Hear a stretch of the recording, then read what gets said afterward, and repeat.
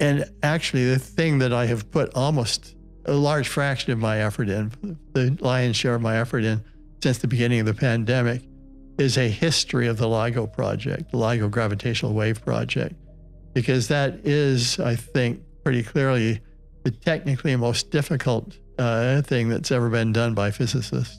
By anybody. Uh, by anybody. Yeah, probably by anybody. And one one hundredth the diameter of a proton. That's anybody.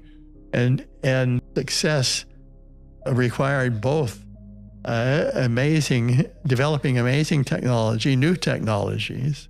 It, it, uh, it required developing uh, computer simulations of colliding black holes, required developing quantum precision measurement technology that is now in LIGO and is playing a major role, where you circumvent the what's called the Heisenberg uncertainty principle. My mind is still partly blown by having by you having said that. You are bypassing Heisenberg's uncertainty yeah, principle. that's right. You by manipulating vacuum fluctuations, just like advanced civilizations uh, uh, might do as a routine yeah, thing. Yeah.